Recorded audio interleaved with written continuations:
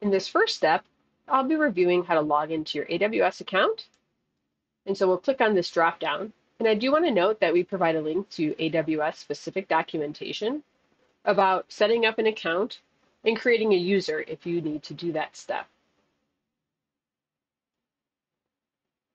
So first, we will navigate to Amazon's Elastic Compute Cloud or EC2 Management Console.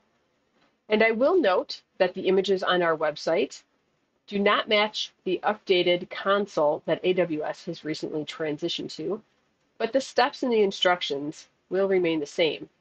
So under the compute section, we will select EC2.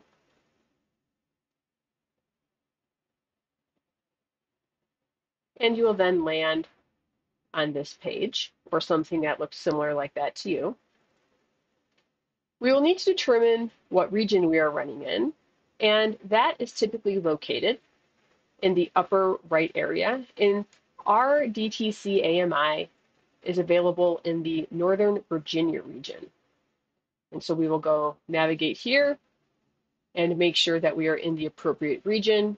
And we can see that the US East Northern Virginia region has been successfully selected.